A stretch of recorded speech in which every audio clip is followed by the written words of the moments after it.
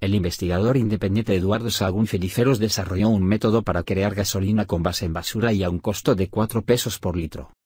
Eduardo ha comentado que ante el incremento de los precios de los combustibles revisó otras pesquisas para lograr utilizar estos desechos para impulsar vehículos. Pese a que algunos de sus colegas ya habían logrado avances en esta materia, no fue hasta que Sagún se dedicara a experimentar que logró obtener diésel y gasolina aceptables para ser incluidas en un automóvil. Debido a este descubrimiento, ha buscado un acercamiento con las autoridades para evitar que esto lo lleve a la cárcel, debido a que Pemex tiene el monopolio legal para aprovechar o crear este compuesto. Sagún dio conocer que el proceso para originar este líquido se lleva a cabo por dos procesos. El primero consiste en calcinar la basura y el segundo en la destilar el producto de esto. esto.